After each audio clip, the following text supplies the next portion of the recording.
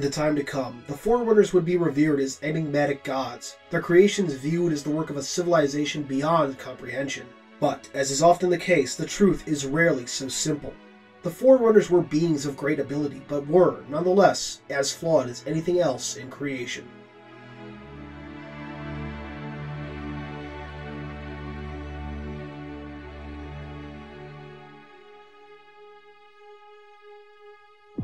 An understanding of Forerunner society is vital for understanding the fate of their civilization. All Forerunners would be born as Manipulars, more or less their natural form.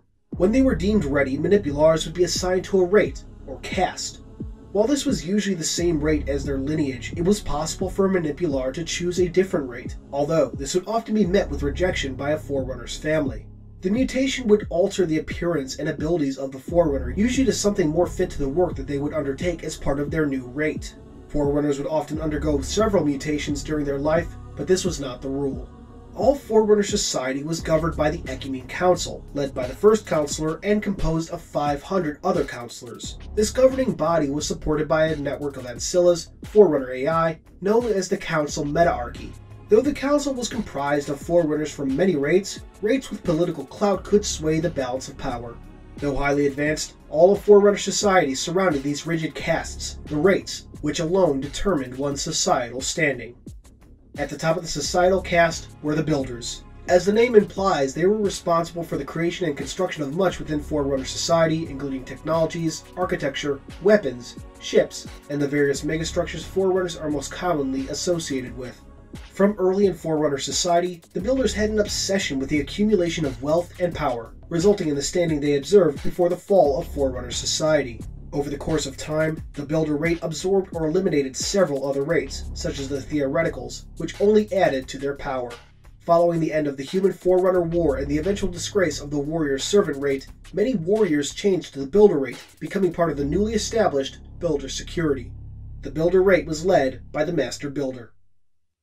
Below the builders were the miners. Miners were largely responsible for the acquisition of material for Builder and various other Forerunner projects. They were also known for their planetary and stellar engineering projects. Stellar engineers were colloquially known as plasma jockeys, their job being to tame young stars for future use. While very successful, plasma jockeys were known to simply disappear after several centuries, their fates unknown.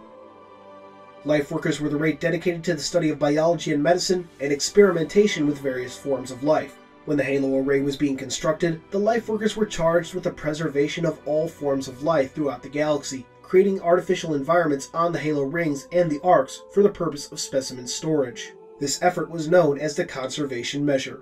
The highest rank achievable by a life worker was Life Shaper, a rank only known to have been held by four Forerunners. Among them was the Forerunner known as the Librarian. Near the bottom of the Forerunner caste were the Warrior's Servants, the military might of Forerunner society.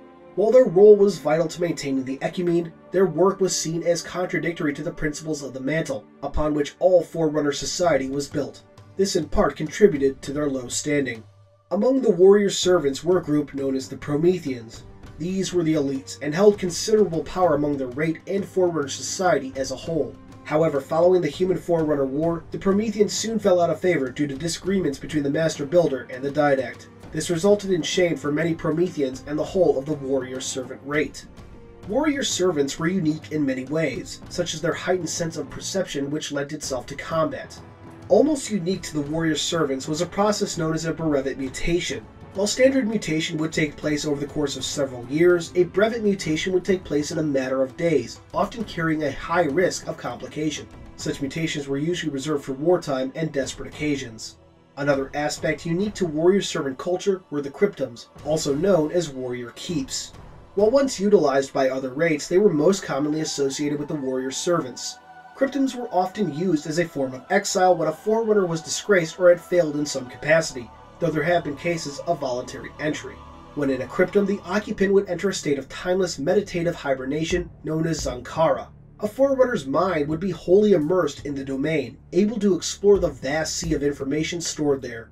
With a standard cryptum, a ritual would often accompany a Forerunner's entry, and the Forerunner's body would maintain a vitrified state.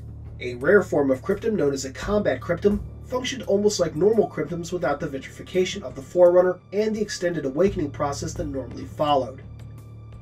Juridicals were a rate that served the Council directly. As their name implies, they acted as the judiciary arm of the Council, responsible for researching legal matters and collecting evidence.